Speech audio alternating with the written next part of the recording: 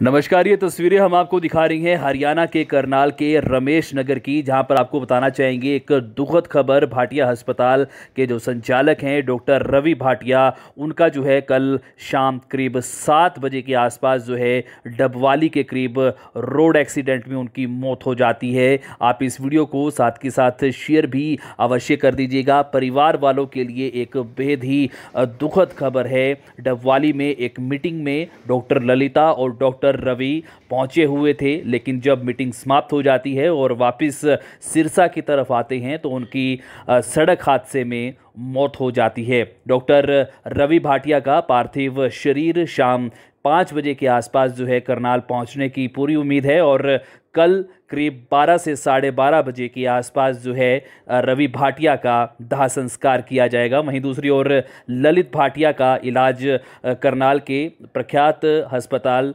Doctor दुआ multi speciality hospital में इनका इलाज चल रहा है, जहाँ पर इनकी हालत स्थिर बताई जा रही है। तस्वीरों को आप शेयर अवश्य कर दीजिएगा। आपको दोबारा से बताना चाहेंगे कि करनाल के प्रख्यात डॉक्टर डॉक्टर रवि का डबवाली के समीप सड़क हादसे में मौत हो जाती है और इनकी पत्नी ललिता भाटिया, जिनका इलाज करनाल के ही दुआ मल्टी स्पेशलिटी अस्पताल में इलाज चल रहा है, जिसमें डॉक्टर ललिता की हालत जो है, स्थिर बताई जा रही है।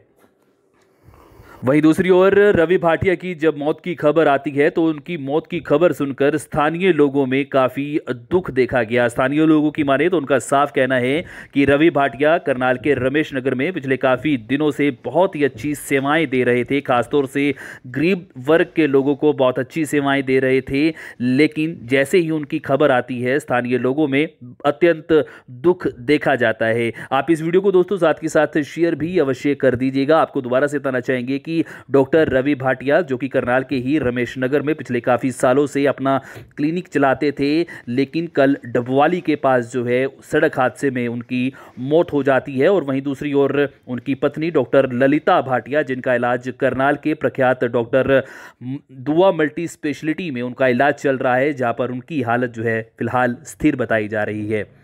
आप इस वीडियो को शेयर अवश्य कर दीजिएगा। अपडेट आपको देते रहेंगे, बने रहेगा करनाल ट्वेंटी फोर।